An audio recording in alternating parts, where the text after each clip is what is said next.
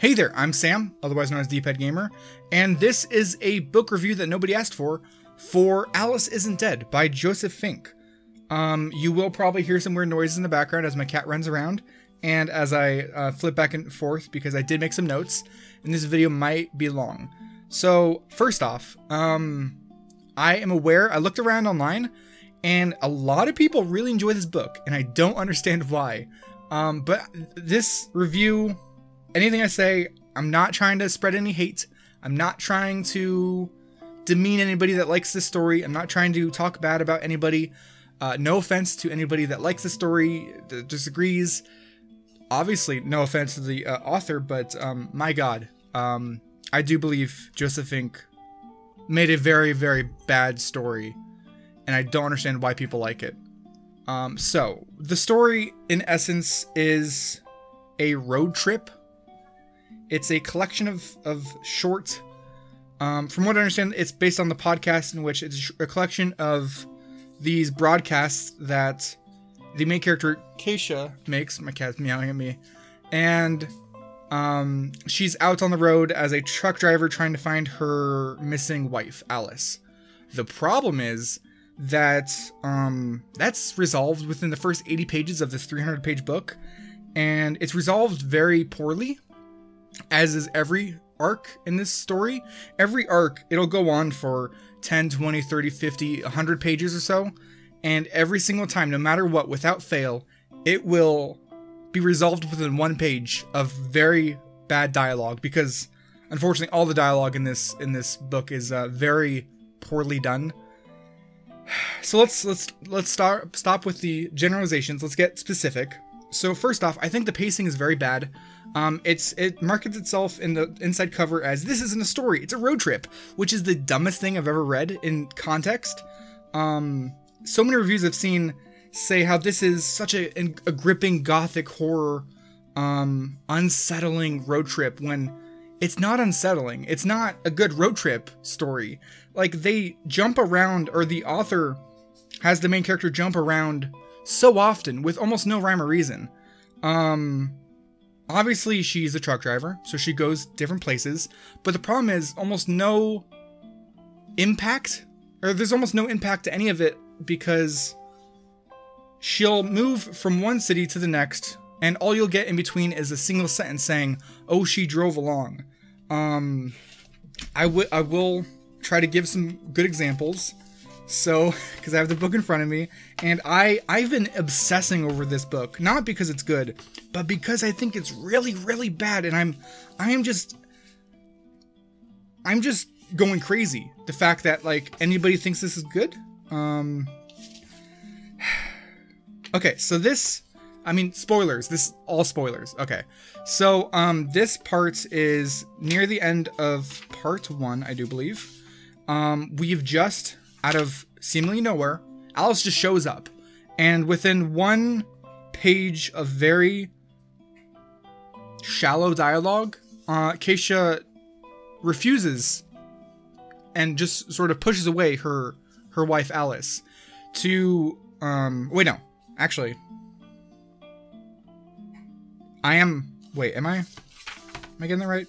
Actually, no. I think I'm. I'm sorry. I'm combining two different sections. Sorry. So this. So this section is specifically about. She finds this other town full of these monsters called the Thistlemen, which are one of the main antagonists of the story, which are quite possibly the worst monster I've ever heard of because they're so poorly thought out. Um, at the very end of the chapter, uh, and this is a single paragraph. Um, she got back in her car, left behind the secret town of serial killers on a U.S. airbase. They use that phrase like four or five times because they can't think of anything better than a, uh, a town of serial killers on a U.S. airbase. Drove to her truck in a lot outside of Victorville, then straight through the night to a house that had stood empty since she'd left it. And she stepped through the door into the stale air that smelled like a different part of her life. And she was home for the first time in over a year. Firstly, um, that's all a run-on sentence. Um, in fact, that entire paragraph is a single sentence, which is very bad. Uh, but also, um, this small part, it sounded weird to say because it's all really stilted writing. Um, again, no offense if you like this, I'm sorry, but like, I, I just don't get it. How can anybody like this story? every single time there is like some sort of travel, it's described in these very poorly done, shallow sentences. Often, I mean, a lot of run-on sentences. Um, it's just I don't. How is this a good like road trip? A road trip is supposed to have substance. It's supposed to be about the travel. It's supposed to be about the journey, not the destination. But this is all about the destination. It's never about the journey, ever, literally ever. um, but there's so much more than that. So I have I have four four pages here. We're gonna be here a while. Um, um, firstly, I think the writing is really really amateur. For some reason, everyone I've seen and, like there's been some negative reviews, but like it has like a 3.5 out of like out of five. Um, on Goodreads, all I could find is positive stuff. I understand why people like it, but I don't think it's a good reason, and I'll get into that. Um, but firstly, I think the writing's amateur.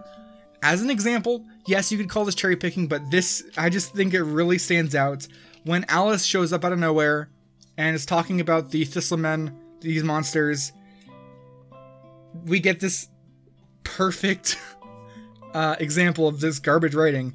They'll kill you, Alice said. Maybe, uh, says Kesha. Keisha, or Kesha, Keisha, whatever. Keisha, they will kill you to an extent you didn't know a person could be killed. And then she essentially says, Yeah, I know, I know, I know. She repeats it three times. Okay, you know. That's. That's not. What is that? like, I would get it if if if the main character was like a 14 year old. Um, but even then, like so much of this, so much of the writing feels fake.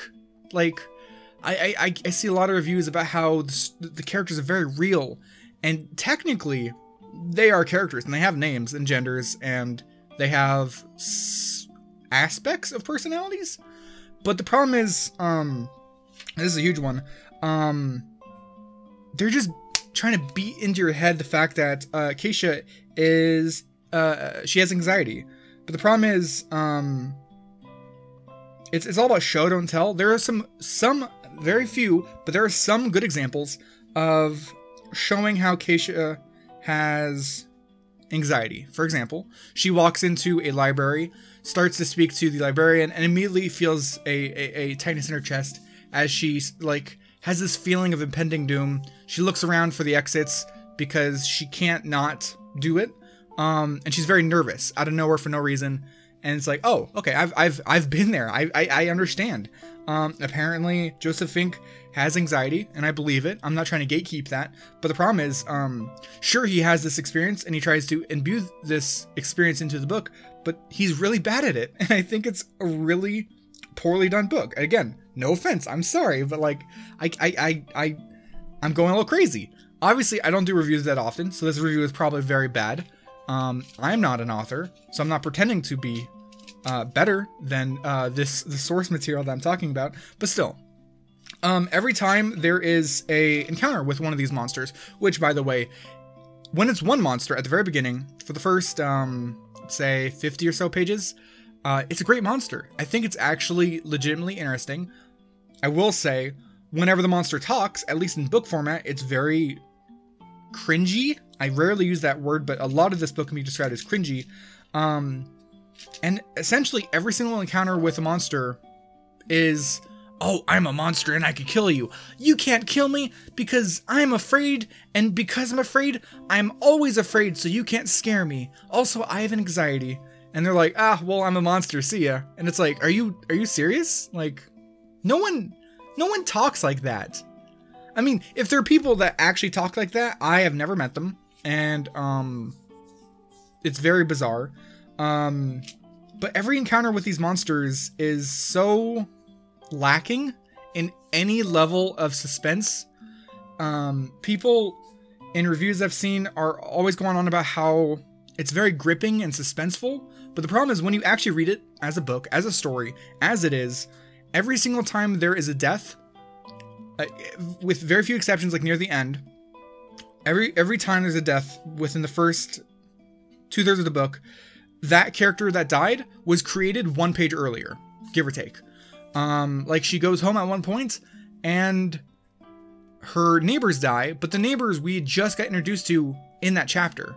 So literally nothing was lost. I mean, like, sure, oh, a person died in this book, but the problem is, if if you create these characters with the sole purpose of dying, then there's no real substance. The main character, the only actual obstacles that Keisha runs into is her own anxiety, which isn't actually. Oh my god, my cat's going crazy. Stop it. Um, the the only real obstacles is her own anxiety, which is very poorly done, and um, anxiety is used as a buzzword more than anything. Um, again, not gatekeeping. This is just how I'm seeing it. Um, I'm not saying that he doesn't understand what anxiety is, but rather this representation of it is so poorly done. Um, at one point, she gets scratched uh, because she pulls herself up through a. Uh, she pulls herself up through a um, skylight, which has like glass on it, so she like cuts up her stomach. Um, and then later on reopens those wounds. And those are more or less the only wounds she takes the entire time. It's the only like amount of actual challenge or difficulty or like otherwise it's like it's like a walking simulator video game where you just walk around and you're like, "Oh, I see stuff. That looks sort of scary." And that's it. Like that's the extent of it. Um every time she actually runs up, like it's hard. Okay. I before I can move on, I need to say that this book is very very heavy-handed, essentially hands made out of concrete, with the fact that the monsters are a representation of racism, racists, also I guess sort of sexist slash like sexual assault uh per- perpetrators like that sort of amalgamation of bad. Uh, and the book is very important saying bad is bad and that is true. Bad is bad. Racism is bad. I don't think i need to say that but like some people will probably call me out as being something for making this review. But uh, so i have to be clear bad is bad i think we know that but the problem is um every time she runs into this um, it's essentially a representation for the struggles uh, this kind of character would see in everyday life because this character is a person of color and this character is um, uh, queer, uh, which I have no problem with at all. And I think the relationship between Alice and Keisha is done decently well. Uh, but the problem is, every time we have this metaphor happening with the, the main character and then the monsters, she is always saved by someone else. Uh, which usually wouldn't be an issue, but the problem is it acts as this as if she's so empowering and she's so independent, but that's not the case at all. And it and literally, um, so the first time she, so she she runs into the Thistle Man before the Thistle Men, uh, quite a few times. Uh, the first time it's actually she's it's life or death. She's about to die. Um, is when she rams her truck into the other town, which is a garbage name. You could have come up with something much better, and it's a dumb concept too. But that's besides the point.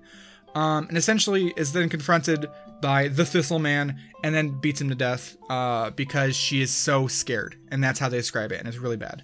Um, but the problem is, then she's saved by Lucy, the commander of, also the name of my cat, but the commander of Bay and Creek, this underground organization, which, spoilers, is connected to this whole thing, and it's really, really dumb. But the point is, um, she's saved by Lucy. That's that's the first part. Then the next time, it's in a library where she's saved by Alice. And then the last one, um, she is essentially, I mean, I guess she wins on her own when she's fighting Lucy but when you look back, it's like there was no. I feel like there's no actual empowerment.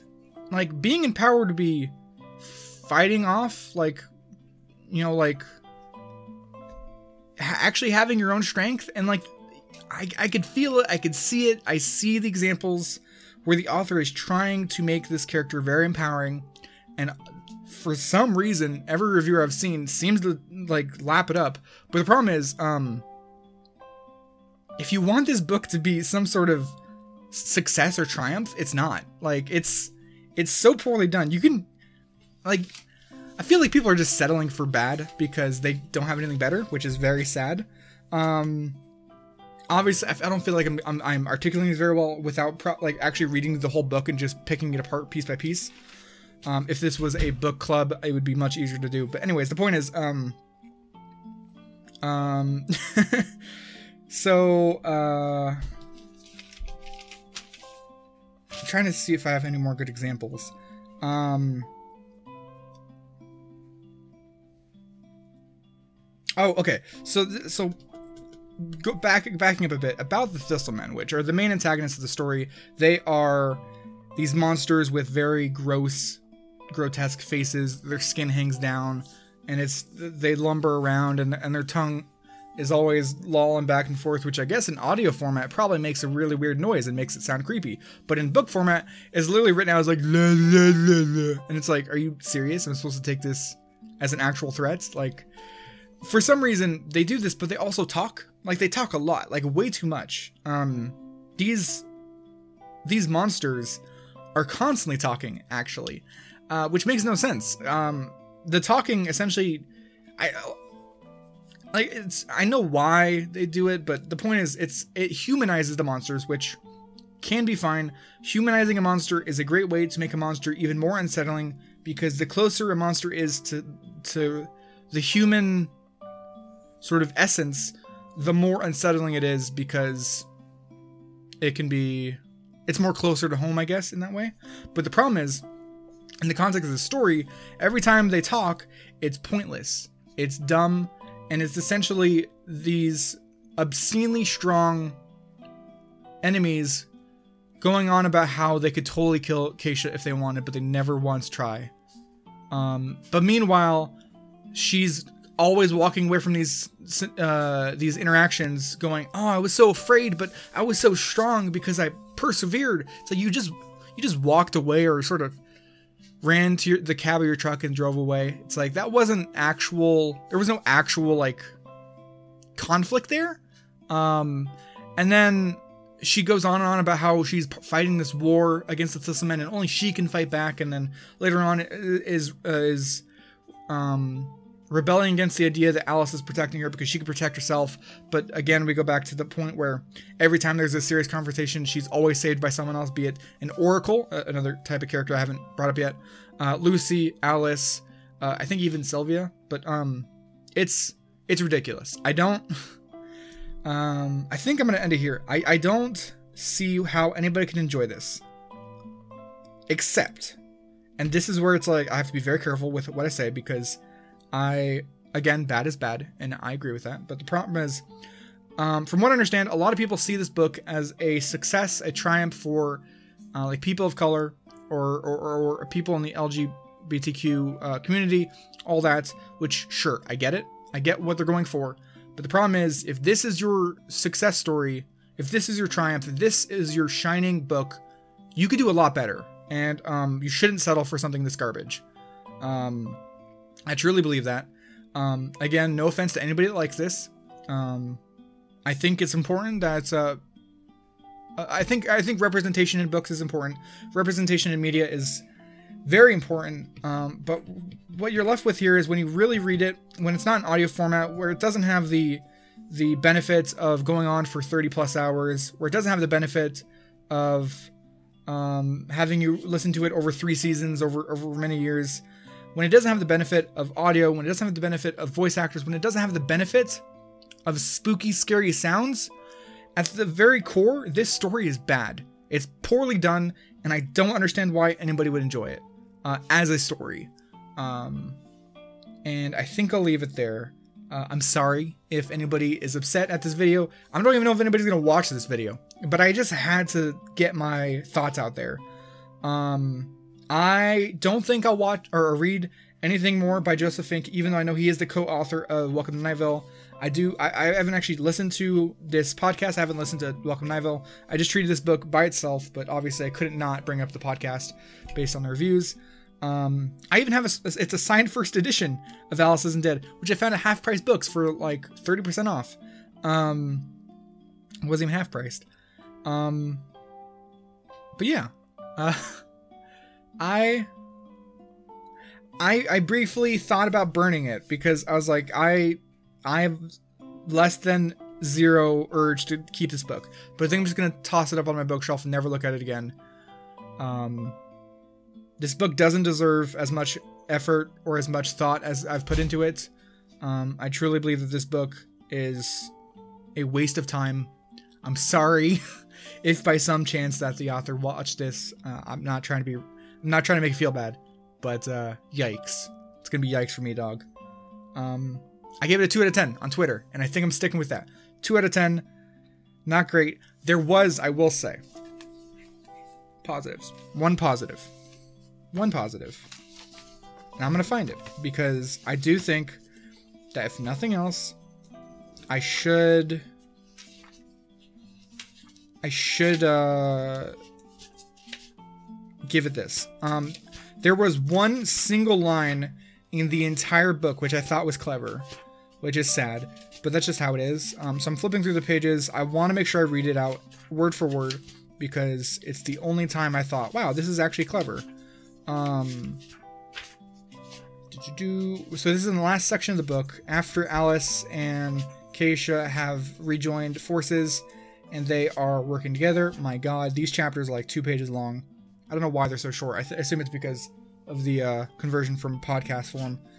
But uh, now at this point, I'm just trying to. Okay, here we go. This is the only line I thought that I stopped and went, ah, that was actually sort of clever. Um, on chapter 47, first line, a stakeout is an exciting way of just. Dis- sorry, a stakeout is an exciting way to describe falling asleep in a parked vehicle. I thought that was clever.